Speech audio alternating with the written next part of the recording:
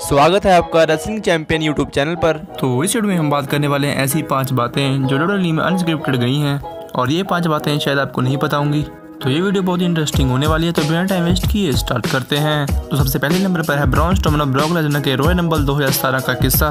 तो जैसे कि आपको पता है कि रॉयल नंबर 2017 में हमें ट्रिपल टायर मैच देखने को मिला था, वो यूनिवर्सल चैंपियनशिप और ये था ब्रॉन्स स्टोमन ब्रॉक लेजनर और केन के बीच। और यहाँ पर इस मैच की स्टार्टिंग में हमें अनसग्रेटेड चीज़ देखने को मिली, और वो ये थी कि ब्रॉन्स स्टोमन पंच मारते हैं ब्रॉक लेजनर के हेड पर फॉर अ रियल तो ब्रॉन्स स्टोमन ने पंच दिया था ब्रॉक लेजनर को। तो ये पंच कोई ऐसा वैसा पंच नहीं था। तो ये वो पंच था जो यूएफसी में यूज़ करते हैं। और यहाँ पर ब्रॉक लेजनर ने रिस्पॉन्स करते हुए ब्रॉन्स स्टोमन को भी एक पंच मारा। और ये भी था अनस्क्रिप्टेड और यहाँ पर इस मैच के बाद ब्रॉन्स स्टोमन से बात की गई। और ब्रॉन्स स्टोमन ने ये चीज़ क्लैरिफाई की कि मैं उस वक्त मैच की इलेक्ट्रिसिटी फील कर रहा था। और इसी जोश के कारण मुझसे ये पंच हो गया।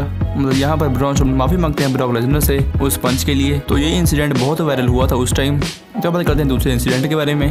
तो ये इंसिडेंट हुआ था स्मैकडाउन लाइव में और ये किया था बिग कैश ने। जैसे कि आपको वो सेगमेंट याद होगा कि जब बिग कैश और मिनी डैनियल ब्रैन के बीच में बातचीत होनी थी, जी हाँ मिनी डैनियल ब्रैन एक बच्चा डैनियल ब्रैन के कपड़े पहनकर आ गया था। मतलब डोडो ने भेज दिया था। यहाँ पर रियल में सेगमेंट ये था कि बिग कैश उस मिनी डैनियल ब्रैन को बुरा बोला बोलेंगे और इसके बाद उनके सिर पर बिग बूट मारेंगे मतलब पैर मारेंगे उनके सिर पर और उसी वक्त ये सेगमेंट क्लोज लेकिन बिग कैच को लगा कि मैं इस सेगमेंट को और भी अच्छा बना सकता हूँ। और विंस मैन से रिक्वेस्ट की कि क्या मैं उस मिनी ब्रैन के सिर पर लात मारने के बाद पंच मार सकता हूँ? यहाँ पर विंस मैन ने ना बोल दिया। और इसके बाद जब बिग कैश ने रेफरी से पूछा कि क्या मैं ऐसा कर सकता हूँ तो रेफरी ने भी ना कर दिया।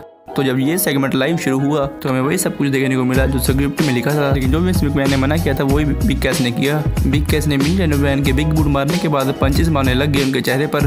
और ये एक अनस्क्रिप्ट मूवमेंट में से एक आ गया। और इसके बाद मिस मैन बहुत ही नाराज़ हुए बिग कैश से। और यही वजह है कि मिस मैन ने बिग कैश को भी रिलीज़ कर दिया है डब्ल्यू से। तो ये सेगमेंट बहुत ही पॉपुलर हुआ था एज ए अनस्क्रिप्टेड मूवमेंट और हाँ वैसे मैं ज़्यादा रखता नहीं हूँ, फिर भी हम इस वीडियो में लाइक एम रखते हैं 120 लाइक्स का।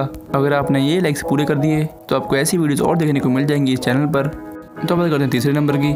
तो जो तीसरा अनसेक्टेड मूवमेंट है, वो है शेन विकमैन और रोमर रेंस का। तो जैसे ही आपको याद होगा कि सर्वाइवल सीरीज़ में हमें मैच देखने को मिला था, जो था team Raw versus team SmackDown तो जब शेन विकमैन टॉप रॉप पर चढ़ते हैं मतलब वो तैयारी करते हैं रोमर रेंस को कोस्ट टू कोस्ट डालने की और जब वो डालते हैं, तब रोमन रिंग्स शेन मैन को देते हैं मिड एयर स्पीयर मतलब रोमन रिंग्स ने वो कोस्ट टू कोस्ट कन्वर्ट कर दिया था स्पीयर में, और जो इसके बाद हुआ, वो काफ़ी अनस्क्रिप्टेड था। और वो ये था कि शेन मैन स्पीयर के बाद बिल्कुल भी नहीं हिले। जी हाँ वो 10 या 15 सेकंड के लिए डेड से हो गए। आप अंदाज़ा ला सकते हैं कि शेन मैन को रेफरी की हेल्प से बैकस्टे लिया जा रहा था। और इसके बाद बैकस्टे से न्यूज़ आती है कि यहाँ पर शेन मैन की एक रिब टूट चुकी है। तो ये भी एक अनसेक्रेटेड मूवमेंट में से आ गया। तो बात करते हैं चौथे नंबर की।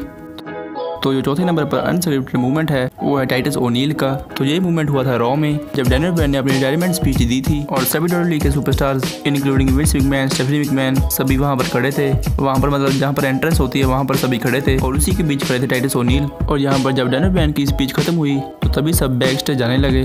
तो ऑब्वियस ही बात है कि सभी बैक स्टेज ही जाएँगे इसके बाद। लेकिन उसी वक्त हमें अनसेप्टेड मूवमेंट देखने को मिला और वो ये था कि जब सभी सुपरस्टार्स बैक स्टेज जा रहे थे, जब विंस मैकमैन बैक स्टेज जा रहे थे, तब उनके पीछे थी स्टेफनी मैकमैन तो यहाँ पर टाइटस ओली ने सडनली विंस मिकमैन का हाथ पकड़ लिया और कहा कि लेडीज़ फ़र्स्ट टाइटस ओनिल का मतलब था कि पहले लेडीज़ को जाने दो अंदर, फिर तुम जाना। इसके बाद विंस मिकमैन ने टाइटस ओनिल को एक धक्का दिया। मतलब विंस मिकमैन ने हल्का सा पुश दिया टाइटस ओनिल को।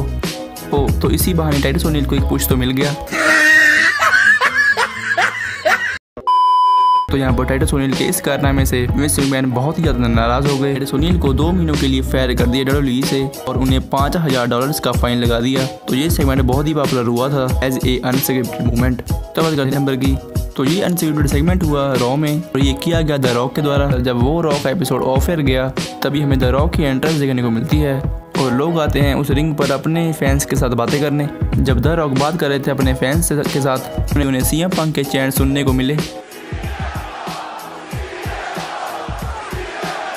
पर वो अनसेक्रेटेड चले गए। और यहाँ पर दरॉक ने बात कराई डब्ल्यू फैंस को। और यहाँ पर दरॉक ने कॉल किया सी एम पंक को उसी वक्त। जी हाँ ये रॉक के ऑफ़ एयर सेगमेंट में ये हुआ था। तो द रॉक ने सी एम पंक को कॉल किया और वो कॉल उठाया भी गया सी एम पंक के द्वारा। तो ये बात उस टाइम की है जब डब्ल्यू ने निकाल दिया था सी एम पंक को अपनी कंपनी से। तो ये थी वो पाँच बातें जो अनसेक्रेटेड हुई हैं डब्ल्यू में। तो आप मुझे कमेंट करके बताइए कि आपको वीडियो कैसी लगी। और बताइए कि आपकी कौन सी फेवरेट रही है अनसेक्रेटेड मूवमेंट इन पाँचों में से। तो यदि आज की वीडियो। अच्छी तो लाइक करें और की रिलेटेड जानकारी के लिए चैनल सब्सक्राइब और बेल को भी दबा दें।